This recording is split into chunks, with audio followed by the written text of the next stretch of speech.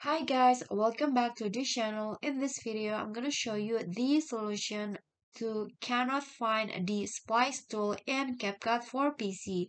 So if you guys already uh used to the CapCut in your mobile and uh, there is a splice tool where you can adjust the overlay that you added but you can't find it on the CapCut for PC it's because it has a different name and I'm gonna show you uh, the splice tool on the uh, CapCut for PC so here I already add a video and I want to add the overlay I want to add this overlay into my video so add to track and I'm going to drag this at the top of my video and adjust the duration so it fits with the uh, video.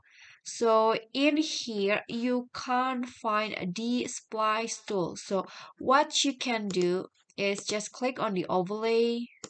This one's right here and then go to video and go to basic and you'll find blend.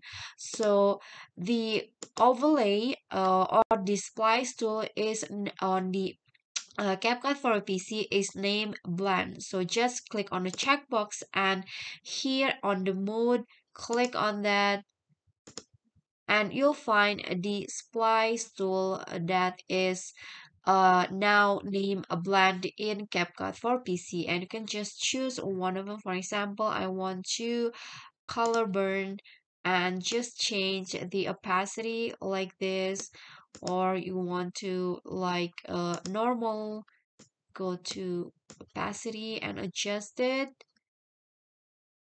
like so and here is the result Okay guys, so that is the solution uh, to kind of find these splice tools in CapCut for PC. I hope this video will be helpful to you.